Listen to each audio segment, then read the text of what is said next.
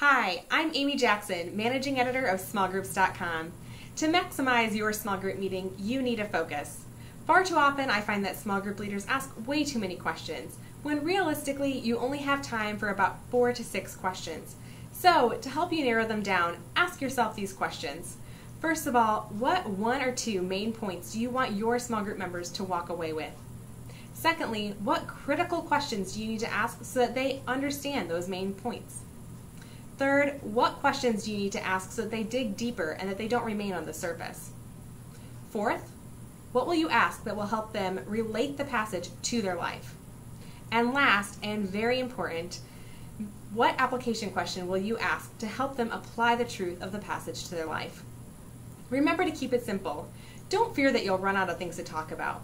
Realistically, you'll have plenty to talk about, and some of your group members may ask questions as you go along. If for some reason you do run out of things to talk about, just take it as an opportunity to spend an extra amount of time in prayer that meeting. A little bit of focus will help everyone in your meeting get a whole lot more out of it.